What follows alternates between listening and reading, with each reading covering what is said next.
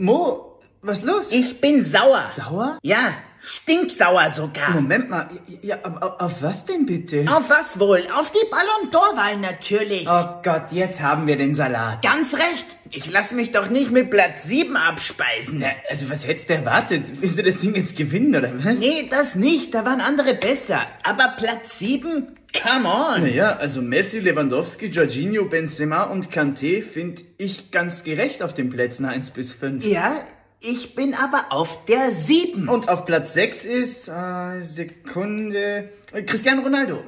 Klar, vielleicht etwas schmeichelhaft, aber schmeichelhaft?